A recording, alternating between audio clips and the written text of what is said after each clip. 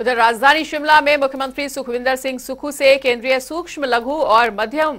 उद्यम मंत्रालय के सचिव बीबी स्वैन ने मुलाकात की है और इस दौरान मुख्यमंत्री और केंद्रीय सचिव समेत अन्य अधिकारियों के साथ एक बैठक भी हुई। इसमें हिमाचल प्रदेश में सूक्ष्म, लघु एवं मध्यम उद्यमों के विस्तारीकरण और सुदृढ़ीकरण पर चर्चा की गई है और इस दौरान मुख्यमंत्री ने यह भी कहा है कि हिमाचल में युवा उद्यमियों को प्रोत्साहित करने के लिए प्रदेश सरकार विशेष रूप से प्रयासरत है। प्रदेश में छोटे उद्यमियों के लिए बेहतर वातावरण विकसित किया जा रहा है और बैठक में प्रधानमंत्री विश्वकर्मा कौशल सम्मान योजना पर चर्चा करते हुए मुख्यमंत्री ने इस योजना के तहत कारीगरों के लिए सहायता राशि पिछहत्तर हज़ार से बढ़ाकर न्यूनतम दो लाख रुपए करने और औज़ार सहित तमाम चीज़ों के लिए सहायता राशि पच्चीस हज़ार रुपए से बढ़ाकर पचास हज़ार रुपए करने का केंद्र से निवेदन किया है।